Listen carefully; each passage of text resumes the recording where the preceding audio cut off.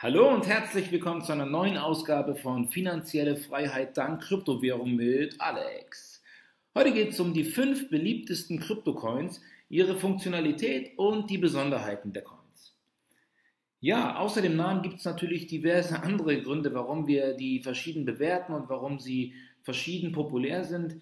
Ähm, vorab gesagt, die meisten von ihnen basieren auf einer sogenannten Blockchain. Was das ist, seht ihr in einem anderen Video von mir. Aber wir wollen außerhalb der Blockchain jetzt vor allem auch mal auf die generellen Unterschiede eingehen. Also worin unterscheiden sich die Coins generell? Generell unterscheiden wir wie folgt. Wie hoch ist die Marktkapitalisierung? Ja, wie viele Transaktionen werden da tagtäglich durchgeführt, durch wie viele Nutzer? Ähm, wie viel wurde bereits erschlossen, also die Block Size? Zielgruppenorientierung, also spreche ich damit gewisse Leute an oder eher die Masse? Zentral oder dezentral? Angebot der Coins auf dem Markt. Die sind nämlich verantwortlich dafür, ob es eine Inflation oder Deflation gibt. Und ähm, ja, entscheidend ist dabei, ob es einen festen Bestand an Coins gibt oder ob sie jederzeit per Nachproduktion nachproduzierbar sind. Gut, das also erstmal dazu. Wir arbeiten das jetzt Stück für Stück auf.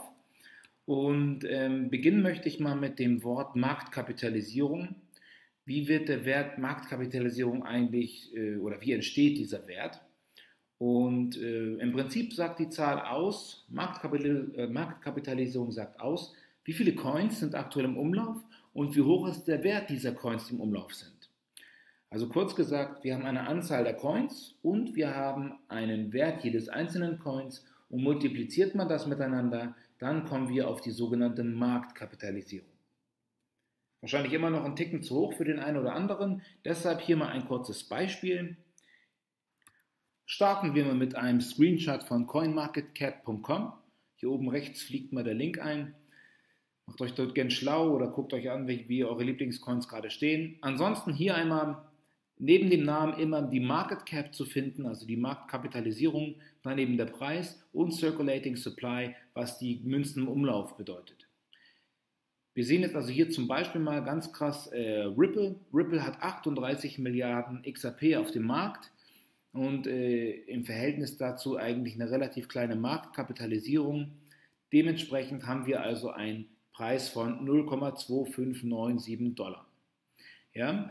Wenn also der Preis steigen sollte, dann müsste die Marktkapitalisierung steigen. Das heißt also, die Gelder, die in Ripple investiert werden, müssten deutlich mehr werden und die Produktion von Ripple darf nicht mehr steigen. Das bedeutet dann irgendwann wäre die Nachfrage etwas größer und das Angebot gleichbleibend und das würde, dann, äh, das würde dann dazu führen, dass der Ripple-Kurs eben steigen kann und darauf spekulieren viele. Ja, ansonsten seht ihr auch bei allen anderen Währungen eben diese Möglichkeit, das mal nachzurechnen. Gebt gerne mal einen Taschenrechner ein, lasst einfach die Kommas weg und teilt die Marktcap äh, durch die Circulating Supply und ihr kommt genau auf den Preis. Alles klar. Nun genug, jetzt gehen wir mal wirklich in die Vollen und zwar geht es jetzt mal in die Top 5. Hier mal ein kleiner Auszug aus den möglichen Coins. Wir werden alle irgendwann mal behandeln, aber heute fangen wir mal mit den fünf an, die unserer Meinung nach aktuell die populärsten sind. Und zwar mit der Nummer 5. Das ist jetzt keine Bewertung, sondern einfach nur die Aufzählung. Und zwar fangen wir mal an mit der Mutter aller Kryptocoins, dem Bitcoin. Mit über 36 Milliarden die größte Marktkapitalisierung und die meist erforschte Blockchain. Das zeichnet sich aus, indem wir eben einen größeren Block-Size haben. Sprich, es wurden schon mehr Blöcke erschlossen. Ist aber auch ganz logisch, weil es auch die älteste Währung ist. Vergleichbar mit Gold, so könnte man fast sagen, denn auch Bitcoins müssen gemeint werden. Ich hoffe, ich habe es richtig geschrieben. Ähm, aber es, geht eben darum, dass Bitcoins in der Regel genauso begrenzt sind wie Gold. Gold hat einen gewissen Wert, weil man nur so und so viel Vorkommen auf der Welt findet und demnach möchten, je nachdem wie viele Leute gerade Gold möchten, steigt dann der Preis. Gleiches gilt bei, Bitcoin, äh, bei Bitcoins. Wir haben hier zwar keine Berge physisch, sondern wir haben hier einfach nur ein Maximum, aber dieses Maximum von 21 Millionen Coins, die jemals rausgegeben werden, was spätestens 2130 der Fall sein wird, äh, es gibt einfach keine Möglichkeit, die nachzuproduzieren. Das heißt, das Angebot wird immer das gleiche bleiben und es kann nur die Nachfrage verändert werden. Und somit prognostizieren halt viele, dass der Bitcoin noch, noch einige tausende Euros an Hürden nehmen wird, bevor er dann an sein Maximum angekommen ist. Aber auch das wieder wilde Spekulation, das müsst ihr selbst entscheiden. Ideal für Übermittlung von Zahlungen oder Daten, dafür ist er eigentlich vorgesehen und er gilt als sehr, sehr sicher und dezentral. Das heißt, keine fremde Hand hält die Hand drüber. es gibt kein Kontrollorgan in dem Sinne, es gibt keine Behörden und es gibt vor allem keine so lange Wartezeiten bei der Transaktion. Es gibt eben nur den Sender und den Empfänger und drumherum einige Nodes, also einige Menschen, die das Ganze kontrollieren. Und das ist dann sozusagen dezentral, weil hier wirklich verschiedenste Menschen auf verschiedensten Kontinenten Transaktionen überprüfen, ohne dass sie sich irgendwie nahestehen. Dementsprechend ist es einfach das dezentralste, was es gibt. Und das ist eigentlich der Grund, warum überhaupt diese Coins so im Kommen sind. Und natürlich nicht zu vergessen, die größte Popularität von allen Coins hat immer noch der Bitcoin. Jawohl. Auf der Nummer 4 haben wir Ethereum. Neben dem Bitcoin wohl die bekannteste Währung, ebenfalls auf Blockchain basierend. Und die Besonderheit hier ist, wir arbeiten hier nicht nur mit Transaktionen bzw. mit dem Austausch von Daten, die wir verschlüsselt über die Blockchain, sondern wir haben hier zusätzlich noch solche sogenannten Smart Contracts.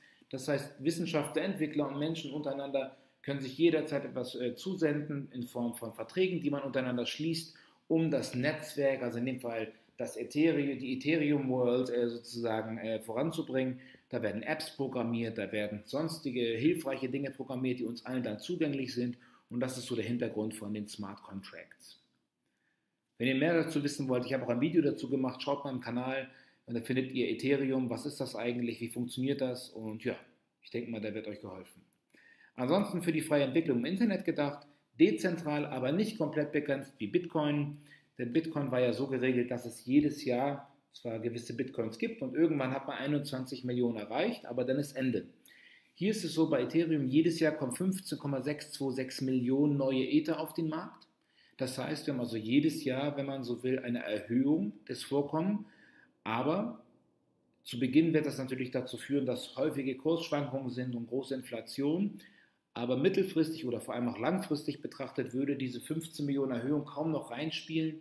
Wenn wir erstmal 200 Millionen Ether auf der Welt verteilt haben, würden die 15 Millionen nicht mehr so schwer wiegen und irgendwann würde es kaum noch Unterschied machen und der Wert der Ether wird sich kaum noch verändern. Und das ist Ziel der Sache, man soll reagieren können. Man befürchtet bei, bei, der, äh, bei Bitcoin, dass eventuell irgendwie die Begrenzung irgendwann mal zu einem Problem werden kann. Hier ist man davor vorgebeugt und hat halt gesagt, okay, wir haben zwar auch ein ähnliches Prinzip, aber wir hören nicht ganz auf. Wir haben immer noch die Chance, eben nachzuproduzieren, falls aus irgendeinem Grund das Angebot steigen muss. Und gehandelt wird bei Ethereum in der Regel in Ether bzw. in Gas.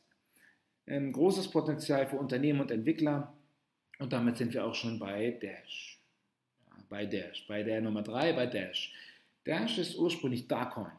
Darkcoin habt ihr vielleicht schon mal gehört. Beide basieren, also sprich Dash und Darkcoin ist ein und dasselbe und basiert auf dem sogenannten Bitcoin-Code.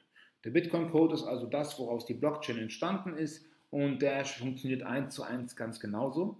Das einzige, Dash hat noch eine Erweiterung und zwar hat Dash noch einen sogenannten oder eine sogenannte Trustless Mixing Service Protokollebene.